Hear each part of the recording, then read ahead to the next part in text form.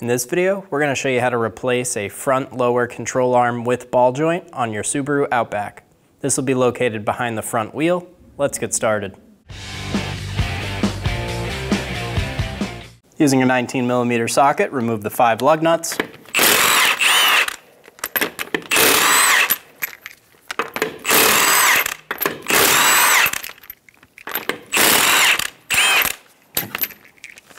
Remove the wheel. Using a 14 millimeter socket, we're going to remove the pinch bolt for the ball joint.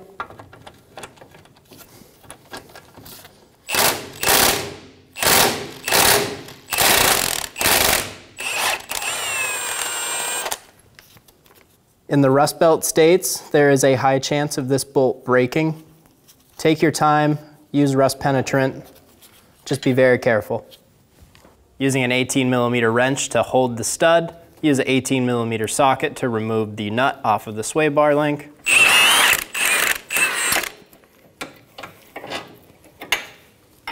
Pull the sway bar link out of the knuckle.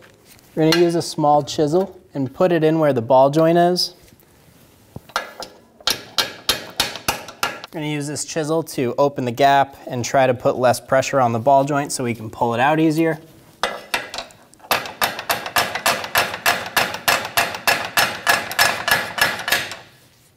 At this point, you should be able to take a pry bar, and if your car isn't super rusty, you should be able to pry down on this ball joint, and it should pop out. Ours is extremely stuck in there, so we're gonna take some extra steps and use a special tool to pull this ball joint out. Remove the cotter pin for the ball joint.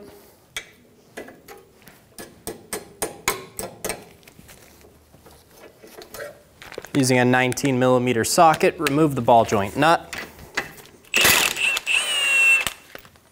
We're gonna use a pry bar with a hook and pull down. If that doesn't work, you can try going in between again. Just like that.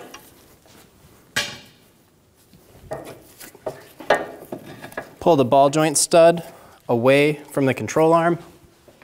Using two 19 millimeters, remove the rear bolt and nut for the control arm.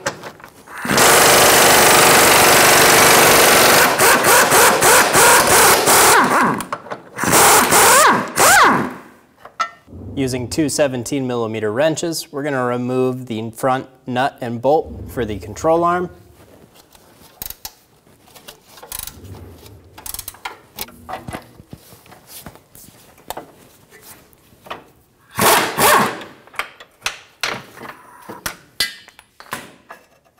Remove the nut.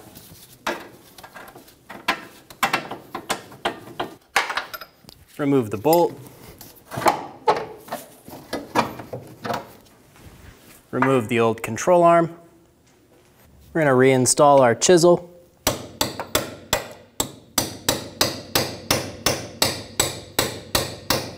Install the nut back onto the ball joint.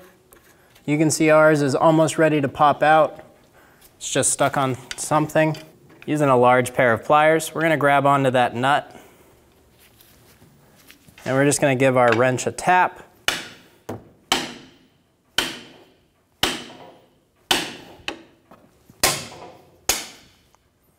Continue tapping, and eventually the ball joint will come out. Using a wire brush, we're going to clean inside of the ball joint cup.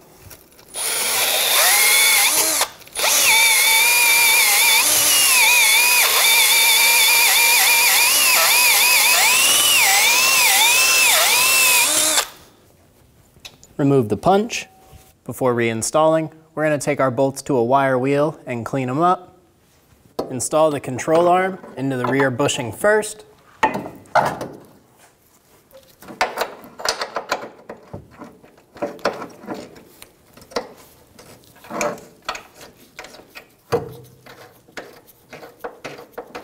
Get the rear bolt started. I'm going to put the nut on just a few threads.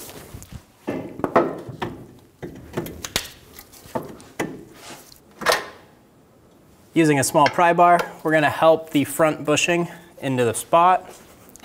Get the sway bar link started through the control arm. We're gonna use a soft face hammer to help us install the front bushing.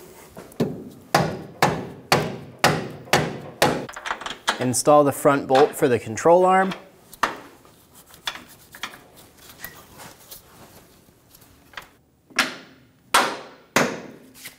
We're to tap the bolt through.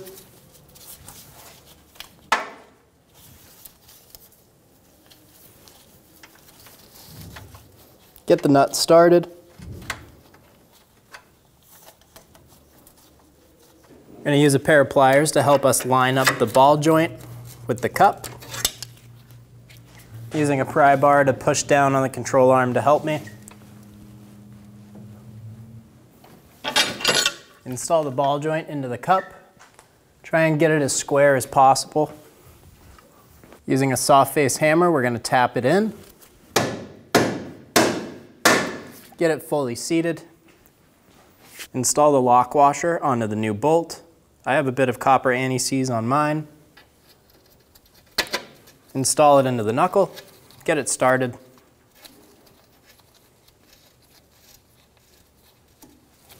Using a 13 millimeter socket, snug down the bolt. Torque the ball joint bolt to 37 foot-pounds.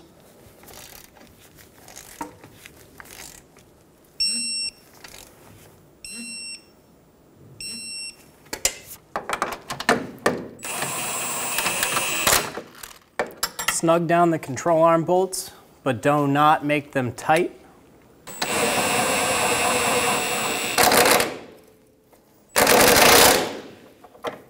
Install the nut for the sway bar link.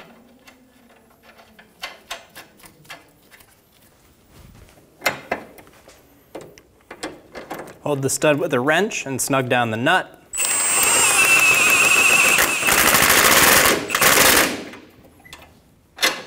Torque the sway bar link nut to 44 foot-pounds.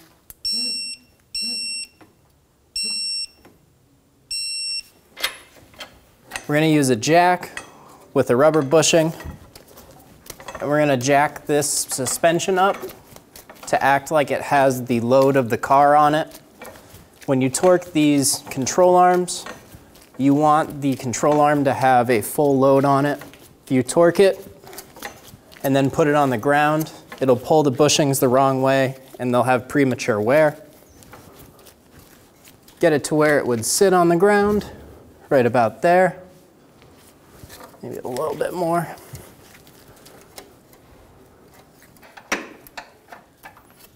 Hold the front nut while torquing the bolt to 70 foot-pounds. If you can't get a torque wrench on it, do the best you can.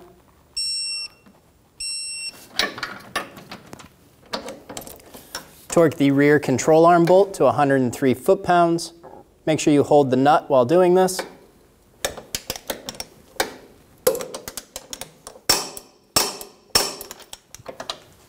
Remove the jack out from under the control arm.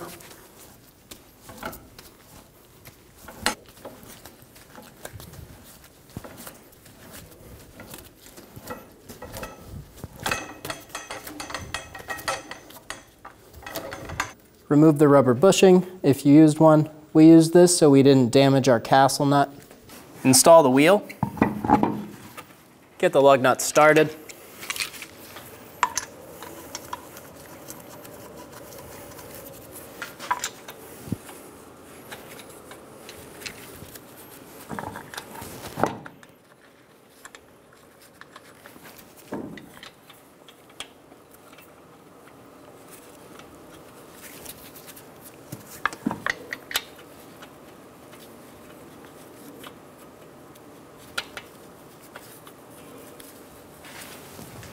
Snug them down.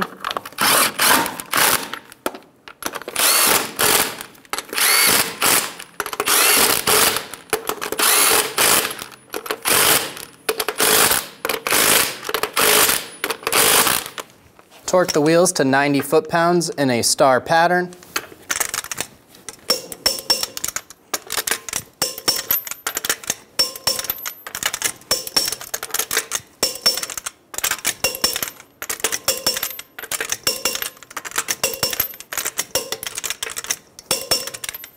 You're good to go.